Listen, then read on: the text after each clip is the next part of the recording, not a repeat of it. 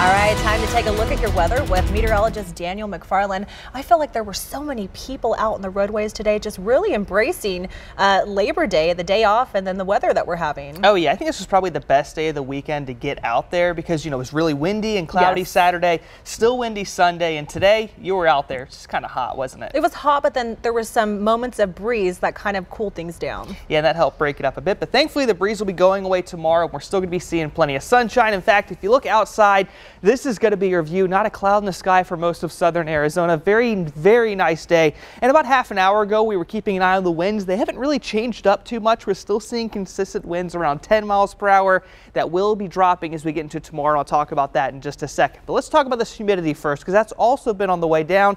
Some of you might be asking, well, is monsoon over? Not exactly. We still have a few more days left. Remember, it's going to be the end of this month, but most of the rain we're going to be having, I think, coming up isn't necessarily going to be due to monsoon storms. Instead, there's going to be a tropical system that we're going to start to see impacts from. But at least as of right now, we're not seeing anything at all. This is going to be the view of southern Arizona from space. We're not seeing a cloud over Tucson. If you go up towards Phoenix, you're not seeing anything there. Looks like the closest cloud cover to us at all is going to be up there in northern Greenlee County. Maybe a couple weaker thunderstorms, but that's not going to reach us because of how low the humidity is right now. So there's really no chance of rain for the next couple days. And those of you that are kind of sick of these winds, those are going to be changing up too. Look at tomorrow, really late morning. Not really too bad for Tucson. So if you're going to be outside at all at around 10 or 11 o'clock, should be just fine. And shortly after that, you're only looking at 15 miles per hour for those wind gusts in Tucson. That's more of a typical day here, but still right along the border, you still have some of those yellow areas. Might actually have some isolated spots reach 30 mile per hour winds.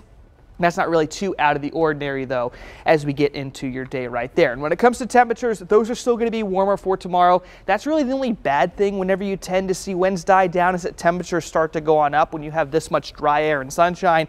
And for Tucson, I am expecting 103 as we get into your day tomorrow for that area. And for Phoenix, Ajo, Sells, that's going to be your warmer spot. Typically, even Pinetop's going to be pretty warm at about 84 degrees. You have Willcox at 90, and those low temperatures getting slightly warmer for a lot of those spots out there.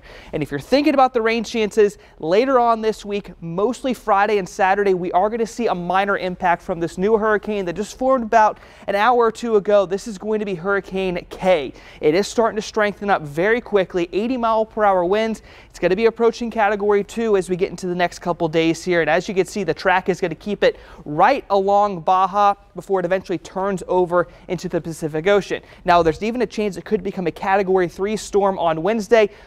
Look at what it's projected to be. That's 110 miles per hour. For category three, you only need 111. So I wouldn't be surprised if it's briefly a category three before it reaches some of those cooler waters just south of San Diego. And it's really going to be a tropical storm when we see the impacts here. Some of those outer bands could be reaching us. We're not going to see winds with it. We're not going to have any kind of tropical storm impact in Tucson. One thing we are going to have, though, is smaller rain chances, and I think everyone could look forward to that. Even some smaller thunderstorms are going to be possible, but no severe weather just because the way this tropical system is going to be set up. We're just going to be too far away for any impacts like that, so it's going to be pretty nice during that time. Temperatures also dropping, and I think rain chances and temperatures dropping is something everyone can get behind as we get into next weekend. Yeah, and then checking out those early morning temperatures, those are low 70s. Yeah, those are getting closer and closer towards the upper 60s. We should be there in a few weeks. All right, that's almost jacket weather. Oh, yeah, for getting the closer. mornings, at Yeah. least. Mm-hmm. All right, something to look forward to. Thank you for that, Daniel.